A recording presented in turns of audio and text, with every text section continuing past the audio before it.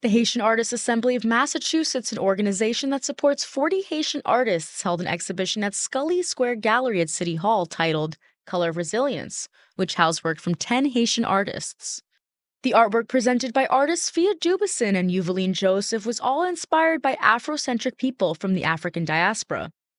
I include um, a lot of different cultural references in my artwork, and I want for my art to represent like people of the African diaspora, only because people of color were never really the subject of the pieces. From mid January through Black History Month in February, the Haitian artists highlighted the creativity, prosperity, and history of the Haitian culture through their artwork. Me, it was more about like showcasing Black excellence and like our beauty, our like uniqueness in different ways.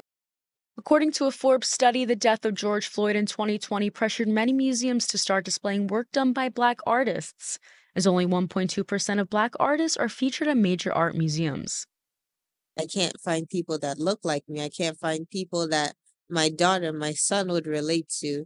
And so I took that responsibility upon myself as an artist to spread the word to show how beautiful people of color can be. Since 2008, ArtNet reported that the market for Black artists has increased by 400%.